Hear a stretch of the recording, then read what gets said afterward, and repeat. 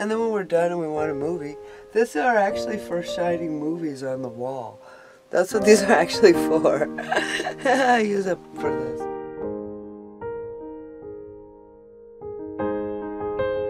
Good morning, Earthlings.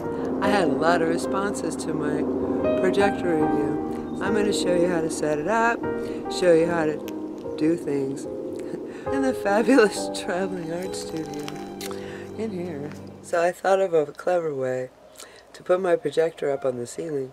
So I'm just going to make a tiny little hole and it's going to hold this whole thing. I got this old wooden spool and I put a screw in it and I'm just going to screw it to a secure secure place on the ceiling. okay, go in. Go that way. Hey, I got it in there now. I got I got that. Now I'm gonna put it oh no, it came off.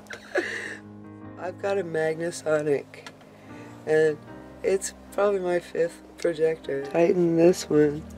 Tighten that up. That won't move now. And then I'll tighten there. Oh, and now I'm gonna use a rubber band. One of these rubber bands from vegetables work great. And now I'm going to go around it with my rubber band a bunch of times. I want it to be real tight on there. Real tight. Okay, now I'll put it up there. It's not going to fall down. Look, it won't be in my way. It's just right up there. And it's going to shine there.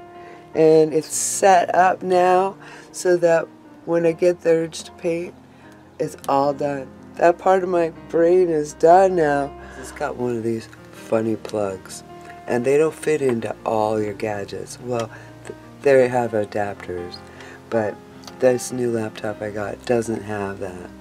Ah, so I can't use it with my new laptop. I like the spool because you can just turn it really easy. I like it. Don't you like it? And then when we're done and we want a movie, these are actually for shining movies on the wall. That's what these are actually for. I use it for this. Hey, now I tighten it. Okay, so I found a picture, and I'll put the in the description below. Where, where is it though? Where's the? yeah, we're back. Okay, here it is. Let's make it little. Now, this one, I'm gonna take my mouse, and I'm gonna click up here, and I'm gonna push it over here, and it ends up right there. There it is is I have to bring my mouse over here somehow and try to try to figure out where it is. Here it is, right there. There it is. Now, I've got to go up here and make it bigger.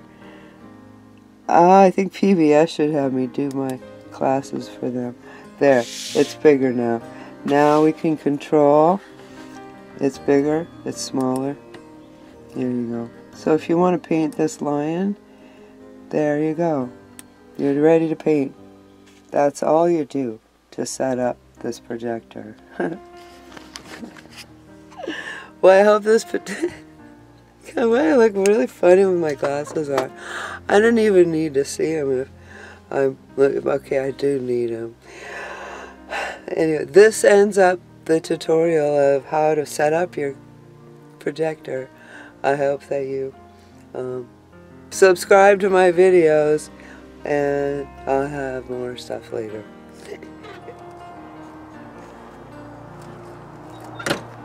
so as you can see, you can do a lot of things with your projector. Make it your friend. I use it a lot with my artwork. Why don't you send me what you make? I'd love to see it. Yeah? Till later. I hope you find your yeah. I'm going to work. That's Howard, the flamingo. He's in all my vlogs. There's Howard. Ah.